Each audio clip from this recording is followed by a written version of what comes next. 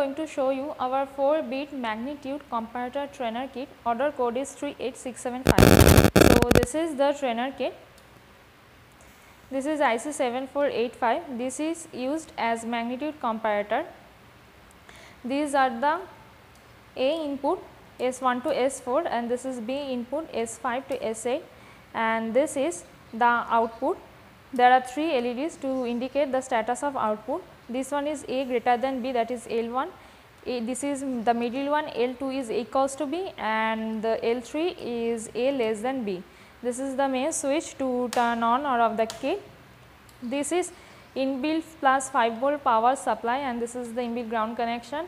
This is the user manual, this is included in this kit. So, our object of this trainer kit is to understand the logic system of IC 7485. So, we will give different combination of input A and B and we will compare the result here. So, first turn on the kit and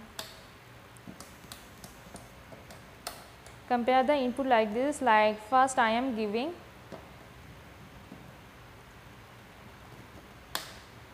one here and this is 0. So, my result will be A greater than B this LED is indicating that now, if I give the same input here it will be A equals to B.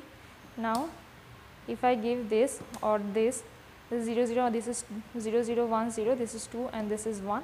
So, my result is A less than B. Again if I give this you can see it has changed to A greater than B. Like this you can compare any combination of numbers with the help of this switch. So, now I am giving this, this is 1001, this is 9 and my input is 3. So, is showing indicating that A less than B. Now, if I give 15, this is 1, 1, 1, 1, this is 15 and this is 9. So, the result is A greater than B.